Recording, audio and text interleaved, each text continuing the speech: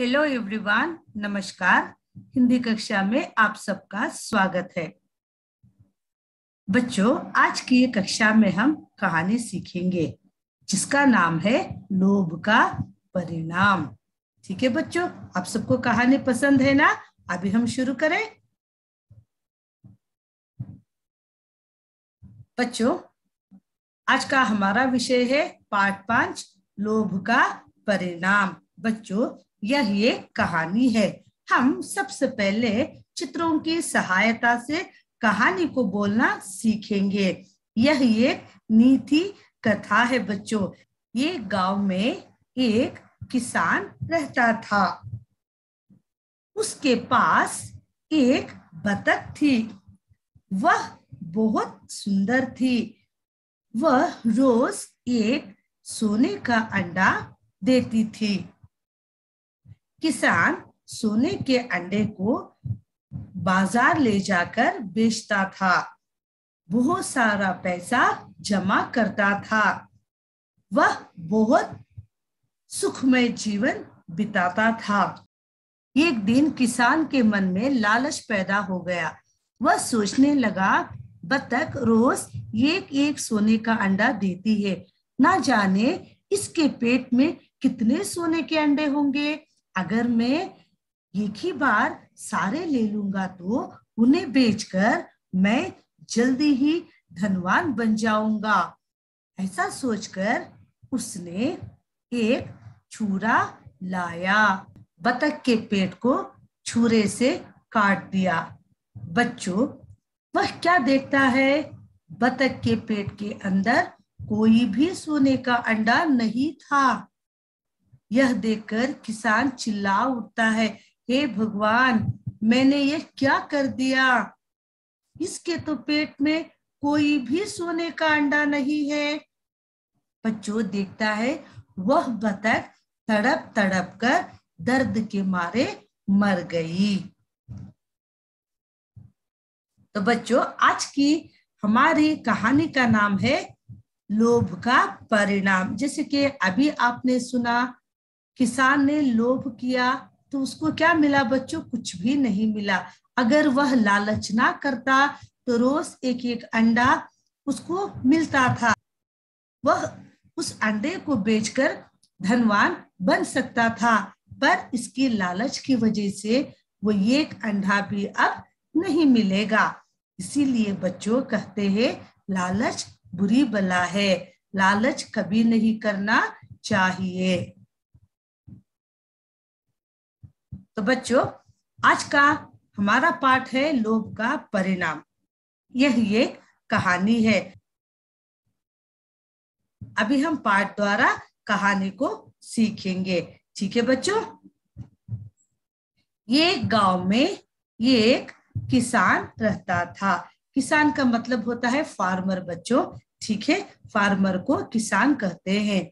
वह ये बत्तख को पालता था। बतख का मतलब डक और गूस होता है बच्चों, ठीक है?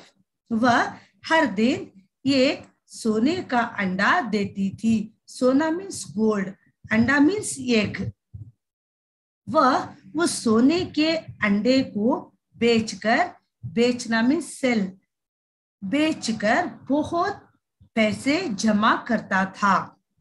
वह बहुत ही सुखमय जीवन बिताता था। ये गाँव में ये एक किसान रहता था। A farmer lived in a village वह एक बतख को पालता था। He used to keep a duck वह हर दिन एक सोने का अंडा देती थी।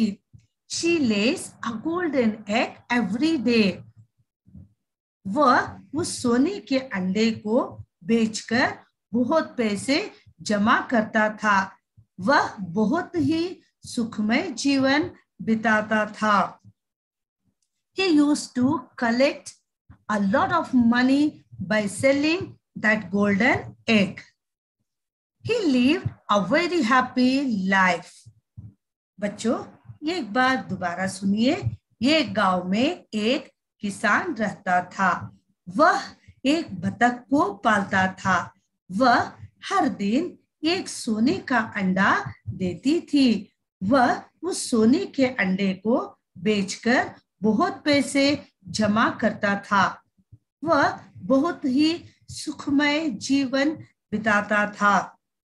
Dear class, a farmer lived in a village. He used to keep a duck. She lays a golden egg every day.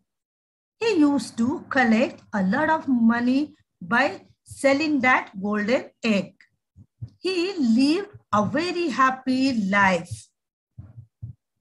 ये दिन किसान के मन में लालच लालच का मतलब ग्रीड होता है बच्चों लालच पैदा हुआ उसने सोचा बतख के पेट में, पेट का मतलब स्टमक होता है बच्चों। पेट में कई सोने के अंडे होंगे। सब अंडे एक ही बार मिलने से धनवान बन जाऊँगा।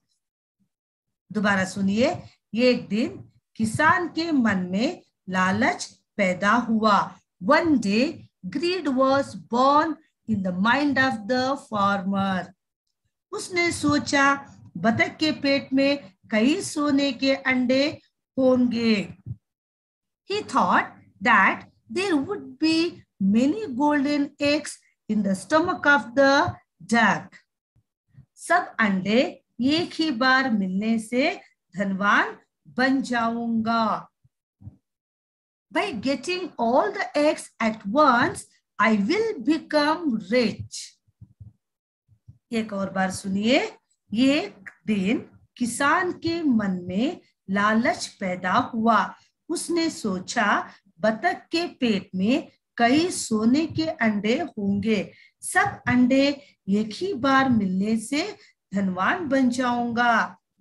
One day greed was born in the mind of the farmer he thought that there would be many golden eggs in the stomach of the duck By getting all the eggs at once, I will become rich.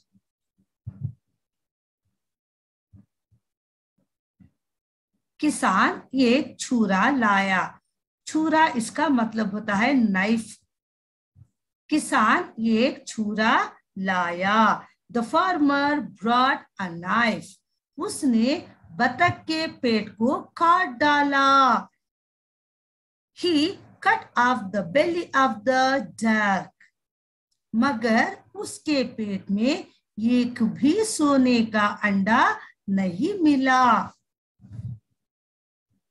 But even single golden egg was not found in her stomach बतख के शरीर से खून बह निकला। Blood gushed out from the body of the duck वह तड़प तड़प कर मर गई। शी डाइड इन एगोनी किसान अपनी गलती पर बहुत पछताया, पर अब क्या लाभ? The farmer regretted his mistake. But what is the use now बच्चों, एक बार हम पैराग्राफ को दोबारा पढ़ेंगे। किसान एक चूड़ा लाया। उसने बतख के पेट को काट डाला, मगर उसके पेट में एक भी सोने का अंडा नहीं मिला। बतख के शरीर से खून खून माने ब्लड बच्चों, खून बह निकला। वह तड़प तड़प कर मर गई। किसान अपनी गलती पर बहुत पछताया पर अब क्या लाभ Dear class, the farmer brought a knife. He cut off the belly of the duck, but even single golden egg was not found in her stomach. Blood gushed out from the body of the duck. She died in agony. The farmer regretted his mistake. But what is the use now? बच्चों, ये थी आज की कहानी, जिसका नाम है लोभ का परिणाम बच्चों, हमें इस पाठ से यह सीख मिलती है कि हमें कभी भी लालच नहीं करना चाहिए, क्योंकि लालच बुरी बला होती है इसका मतलब होता है ग्रीड इज़ इविल बच्चों, अभी हम शब्दों को पढ़ेंगे। शब्दार्थ, लालच ग्रीट खून ब्लड बतख डक किसान फार्मर अंडा एग जीवन लाइफ सुखमय प्लेजेंट गाँव विलेज पेट, स्टमक, धनवान रिचमैन गलती मिस्टेक पछताना रिग्रेट छुरा नाइफ सोना gold shall we repeat once again? लालच ग्रीड खून ब्लड बतख डक किसान फार्मर अंडा एग जीवन लाइफ सुखमय प्लेजेंट गाँव विलेज पेट स्टमक धनवान रिच मैन गलती मिस्टेक पछताना रिग्रेट छुरा नाइफ सोना गोल्ड बच्चों, आज की हमारी कक्षा यहीं पे समाप्त होती है। हम अगले कक्षा में फिर से मिलेंगे एक नए पाठ के साथ। तब तक के लिए अलविदा। धन्यवाद।